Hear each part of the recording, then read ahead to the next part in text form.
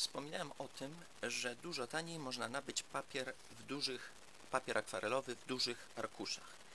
Y, Wadą takiego rozwiązania jest to, że trzeba samodzielnie pociąć taki papier na y, formatki do malowania.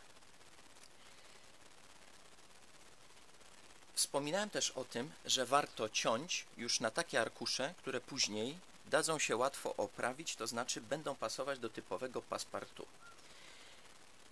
Okazuje się, że nie jest dobrym pomysłem ciąć później y, papier na przykład na połowę, później jeszcze raz na połowę, ponieważ później można dostać kilka arkuszy i całą masę papierowych ścinków.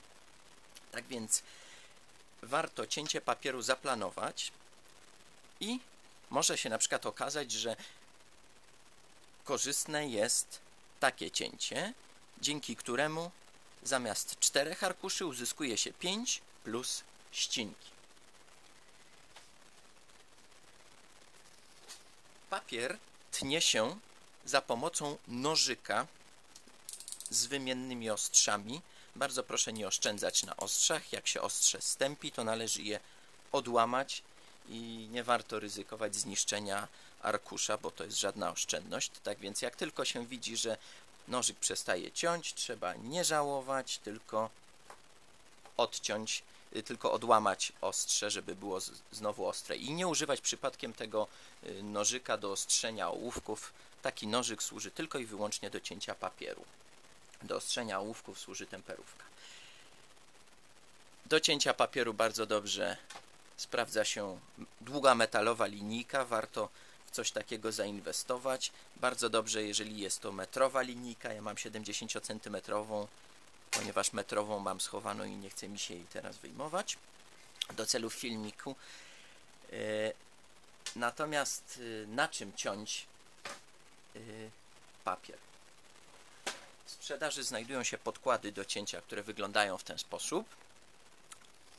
Przy czym ja jako architekt powiem, że bardzo dobrze sprawdzają się zamiast płacić za podkład do cięcia, który przydaje się przy jakichś pracach modelarskich, makieciarskich, ale jeżeli chodzi tylko o cięcie papieru, to tak naprawdę wystarczy arkusz tektury o grubości około 3 mm, tektury introligatorskiej, którą można za 5 zł nabyć w sklepie z materiałami plastycznymi i coś takiego jest, jak widać, dużo tańsze i dużo bardziej praktyczne, oczywiście o ile nie tnie się za dużo tego, tego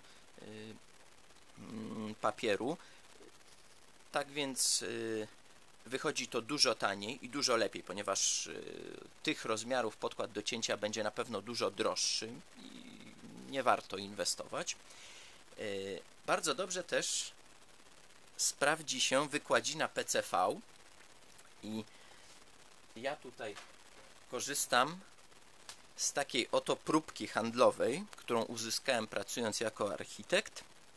E, po prostu jest tak, że przedstawiciele handlowi, na przykład z firmy Target, którzy handlują wykładziną e, PCV, posiadają próbki i można czasami od przedstawiciela handlowego taką próbkę uzyskać e, i ona bardzo dobrze właśnie spisuje się przy cięciu papieru.